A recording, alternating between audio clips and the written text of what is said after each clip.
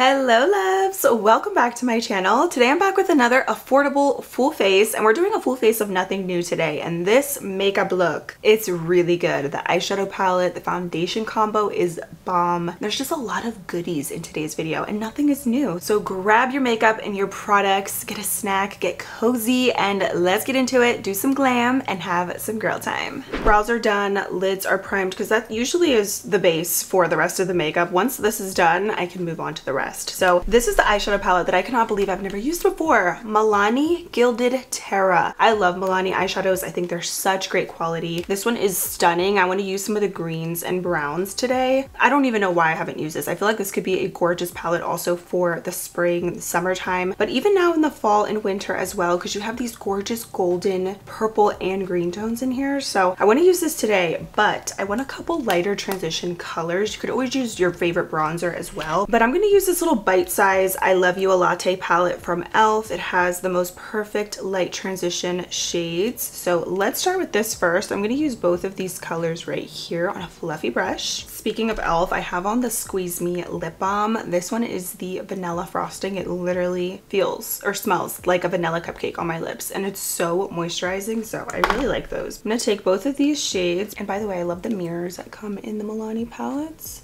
I'm going to take both of those colors and just apply those in the crease. You know what? Let me switch brushes. I want something a little bit more fluffy. If you want just a really simple neutral palette for every day, this one from e.l.f. is one of my favorites. And I have a little leftover glitter on this brush, so there's a little bit of glitter that is getting on my lids, but it's actually kind of cute and I might use it later on for this look anyway, so it is all good. I'm just building those colors up applying them in the crease and also on the outer lid. Honestly, pretty much all over. I always like to do this to start.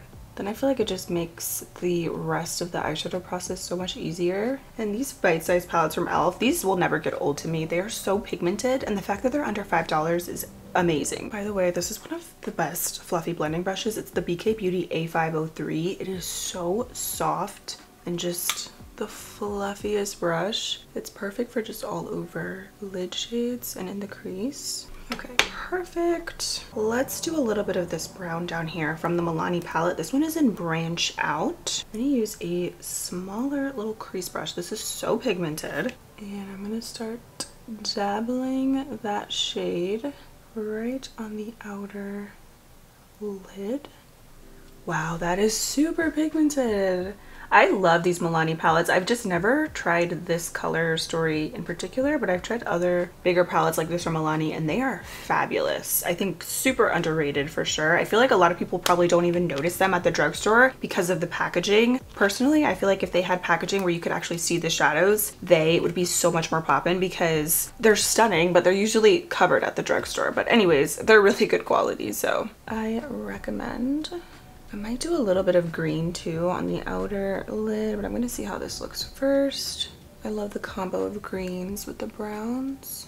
This gorgeous emerald green on the bottom is calling my name. I think I want to dabble into that a tiny bit and smudge them on the outer lid, mixing it in with the brown just to kind of see the color that it creates. Okay, it kind of just makes it darker. Okay, literally made it black. That's okay. I'm gonna just blend that out. These have a really soft formula though. They're kind of satiny. They feel super nice. Yeah, duh, that made it like black because I'm mixing in a dark green with a brown. But anyways, let's go into this color right here. This is beautiful. Sage Advice. It's a green, but it almost has a little bit of a glittery finish. I'm gonna pop that on the lid. I'm gonna use a flat brush. I've been loving this one. It's from Amazon. It's kind of like just a flat little concealer brush. Let me spray the brush. I'm using Milani setting spray. Typically whenever I spray my eyeshadow brush, I'm usually using whatever spray I'm using for the day. I'm gonna take that green and very lightly just pack it on. Ooh, that is so pretty. It's like an emerald sage. Ooh, I like that a lot. Like, are you kidding? That is so beautiful. Ooh, that is nice. Ooh, that's nice. You guys know that TikTok sound. oh my gosh, this color is so pretty though. It's such a unique green. Why have I never used this before? I don't know, but this is why this is your sign to use up products that you already have in your collection because then when you haven't used them in a while it's like it's new makeup you know like it feels like it's new makeup at least very into this green color. It is different than other greens that i have. It's a little bit deeper but that kind of duochrome effect is so pretty. It's giving mermaid. I love it. I'm gonna take a little bit more of this emerald color on the bottom. I'm just gonna kind of add that where I put the brown.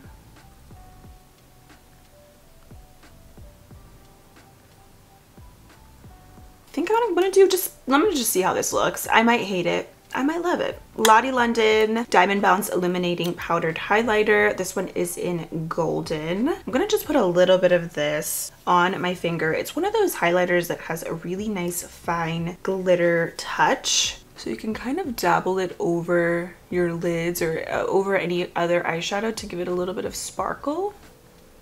Just gonna do a bit of this on the lid just to see how it looks. It's pretty subtle, but it still gives a nice little little touch. Yeah, that's cute. I definitely don't want to take away from the green. It's very subtle, but I think it's just gonna add a nice little sparkle. Something else you could do, this is actually why I had glitter on this fluffy brush, but you can take a fluffy brush, dip it into that glitter, and you can kind of apply it all over your lids to give it a more all over very fine glittery look versus with your finger where you're really going to concentrate and pack on the glitter. With the brush it's going to be just more dispersed on your lids.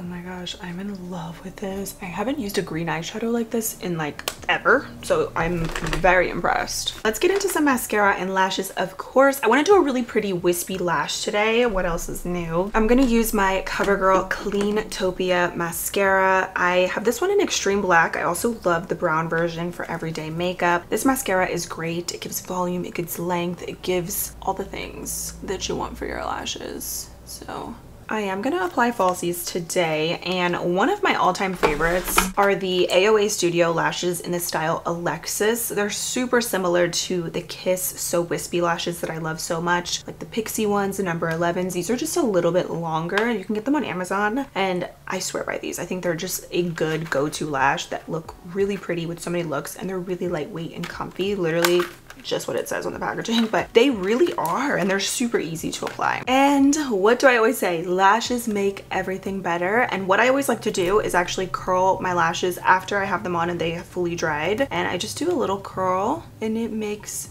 such a difference. Kind of also just makes your real lashes blend so much better with your falsies and I also always recommend applying a little black liner to your top lash line. That way it just looks so much more blended and your lashes look darker at the root so it just looks better especially if you're going to be taking pictures. So lashes are on. Now we can move into the skin. So to set my makeup, you guys know I love the Milani Make It Last. I actually ran out of the smaller original. I only have the bigger one, but I love the matte version to this as well. But another kind of good spray that I always keep in rotation, I've repurchased so many times and I think it's good for honestly all skin types and just for anything is this NYX Bare With Me Prime Set and Refresh Spray. Natural finish. It's great before makeup, after makeup, or in between layers. And it's just really good for hydrating your skin and just melting in all of your products without changing the finish of it. So this is what it looks like. Like I said, I've repurchased this so many times and it's just one of those sprays that I always like to keep in my makeup routine or in the mix because it's so good and so versatile. So I'm actually gonna use this today to prep my skin.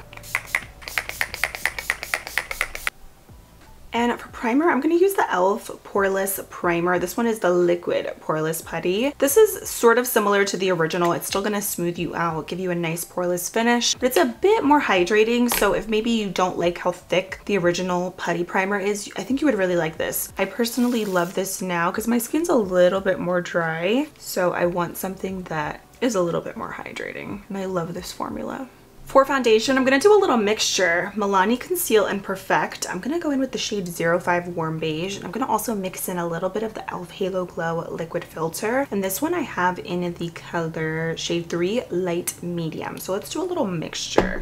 Oops, I don't think my pump works in the Milani foundation. I think this color will match me though. If not, we're gonna have to make it work. Maybe I'll mix in a little bit of the shade Light Beige just to lighten this up a bit because I have like no tan to me right now. Yeah, I think that might work. I want something, since this is super glam, a bit more full coverage and this Milani foundation is it with the coverage. And I'm also just gonna take some of the e.l.f. liquid filter and then just mix the foundation with this as well.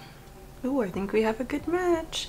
So again, I used shade in the Milani 05 and a little bit of 03. Ooh, the undertone is really good too. The Milani foundation is generally more matte so I just want a bit more of a glowy finish. That's why I added the liquid filter from e.l.f. And I love that product as well because it is so versatile and you could use it alone. You can mix it with your favorite foundations and it just gives the most gorgeous, healthy glow. Milani foundation is actually really gorgeous on this skin as well. And I love how full coverage it is. Ooh, I'm gonna have to do that combo again. It looks really good. I'm just adding a little extra. I'm into it. That's a really nice combo. Note to self, do that again. Look how good that looks. It looks super healthy, but still full coverage. And we got a good match, so double whammy. Let's do a little cream blush. I think I'm gonna skip out on cream bronzer today and just do powdered bronzer. I'm gonna use the Undone Beauty Lip to Cheek 3-in-1 color cream. This one is in Rosewood. I love this brand. You can get them at Ulta and their cream blushes are insane. They're so pigmented and dewy on the skin and I really love this color. It's like just the most gorgeous rosewood shade. So I'm going to apply this just on the apples of my cheeks a little bit. These are so extremely pigmented, so I recommend dipping your brush in and applying some on the back of your hand first because they are insane, but they're really, really nice. And they have really pretty colors as well. I think this shade is just the most beautiful for this time of year. It is so rich and pigmented. Oh my gosh. I forgot how pigmented that is. I'm just going to take my foundation brush and kind of run over that just to kind of dilute that a little bit because it is so intense. But it gives a really gorgeous wash of color. I mean, look at this, you guys. I like dipped my brush in just a little bit and then I wiped the rest on the back of my hand. That's how intense it is. And this is a Fenty 125 face brush. Oldie but a goodie. Keeping the full coverage look, I'm going to take the CoverGirl TruBlend Undercover Concealer, another oldie but goodie, and this one I have in Golden Natural. This concealer does dry really fast, so I recommend working in sections and working pretty quickly with it. But I love the coverage of it, and it is super creamy, but you just have to work fast. I also don't recommend adding too much because it is so full coverage. It kind of gives like Tarte Shape Tape vibes a little bit, so less is more for sure but I think it looks really good though. Every time I wear this, I'm like, ooh, I always forget how good it looks on the skin when I don't use it for a while. You can use the edges of the concealer around this area to blend out the cream blush. That's why sometimes I do like to apply concealer after the cream blush because it makes everything in the cheek area look a little bit more seamless and blended. And what I always like to do is just keep my foundation brush on hand or just any any brush just to kind of blend the edges of that out a little bit, any concealer with whatever product is left over. When I do a smoky eye, I always like to make sure too that I do a little extra product and extra blending, I should say, around this part of the nose because sometimes it can get a little bit dark and I'll maybe drag the eyeshadow a little too far in. So I like to make sure this area is nice and light. So I will really concentrate any product and extra blending in that area. It looks really, really good touching up more blush. This is just whatever is left over on that 125 face brush. Okay, the Milani foundation is so gorgeous because it does have such nice coverage. It literally is like baby doll skin. And then with the liquid filter, I have to do this combo more often. I think this is gonna be the new foundation routine. Wow. Let's set the under eyes. I'm gonna also bring it back with this really old powder that I have not used in a while, but I remember this being really, really smooth and pretty. It's the Beauty Bakery Flour Setting Powder. And this one is in translucent. You can usually find the smaller version to this at Target. Do you guys have a favorite translucent powder at the drugstore? Because I feel like I always use the same ones. Usually the one from LA Girl or the e.l.f. Halo Glow. So I wanted to use something different today. Yeah, that looks really good. Oh, wow. The way that that just blurred my skin instantly and I just used a little bit. So I'm taking my puff dipping it in and then what I like to do I don't like to apply it when it looks like this because then that's how it's going to look on the under eyes and it can just be a bit much. I just wipe that on the back of my hand and make sure that it looks nice and smooth when I apply it. Like I always say blend out your under eye creases and then go in with powder. Ooh. I like it. That looks so good. I'm just taking whatever is left over and just applying that around my T-zone. Love, love, love, love. Okay, I'm using a repeat. This is from my last video, but this is genuinely, I think, the best pressed powder at the drugstore. NYX Can't Stop Won't Stop powder. I'm using the shade Light Medium.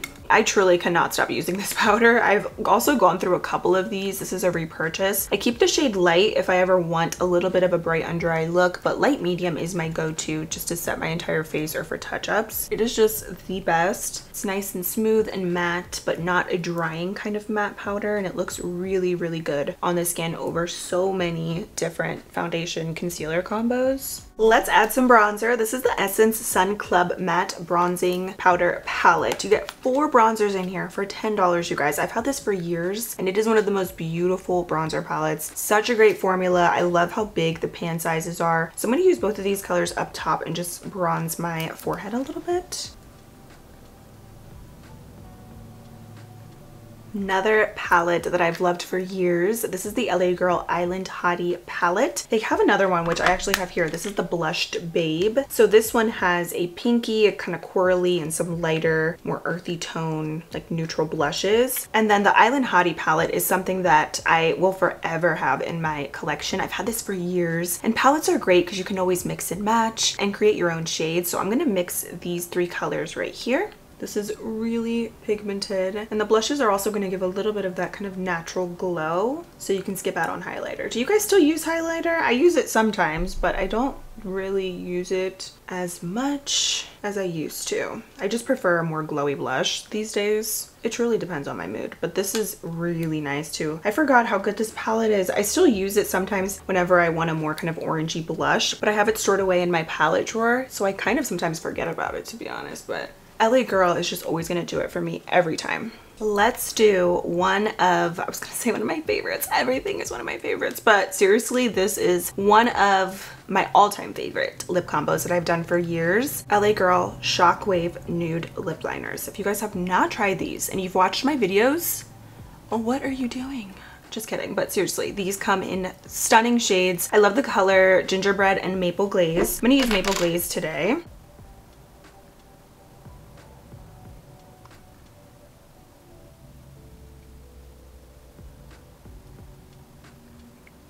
I'm gonna also kind of like blend the edges of that and then rub my lips together so that it looks super blended. I always like to make sure Cupid's bow is emphasized but not too much. I always laugh whenever I get comments about having lip filler. I'm like, girl, you guys could totally tell if I had lip filler. You can still even literally see lines on my lips. And I feel like people who have lip filler, nothing wrong with it by the way, but their lips are so completely smooth. If I had lip filler, you could tell. But I'm like, no, I got it from my mama. Milani Color Fetish Matte Lipstick in the shade Tease. I think this is my all-time favorite lipstick ever. Like, in general. It is so good. It works with so many different lip liners. It really is that perfect nude. Are you kidding? Every time I put this on, I'm like, yes, please.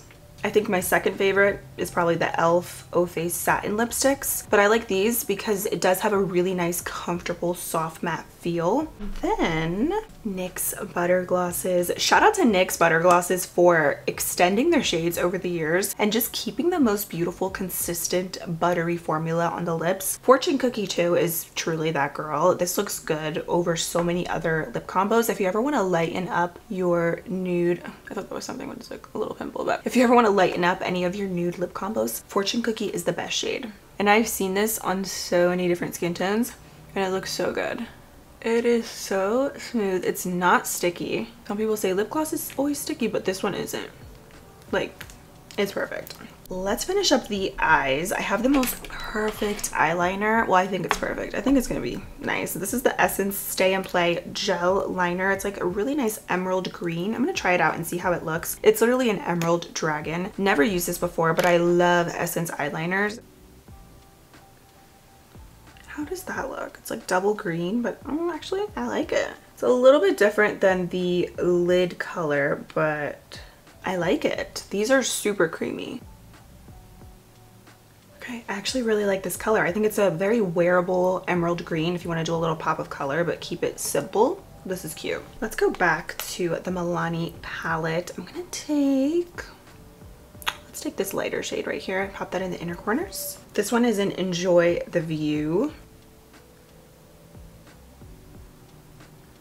I just applied a little lower lash mascara and I'm just touching up my brows with the NYX Brow Glue just to remove any makeup or powder that may be on them.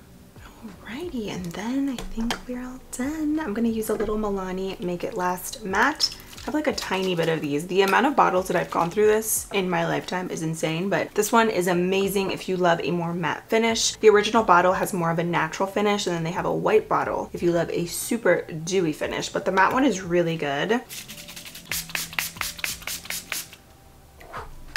Love. We're done. Dare I say, this is one of my favorite makeup looks that I've ever done. This turned out so much better than I thought. A couple standout products in here. Definitely this Gilded Terra palette from Milani.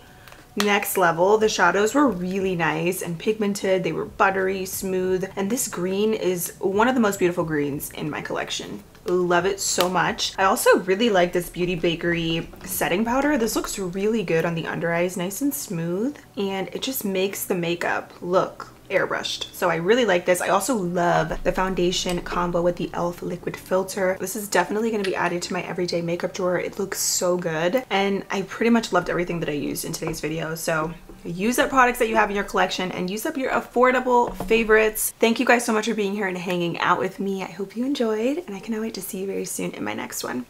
Bye!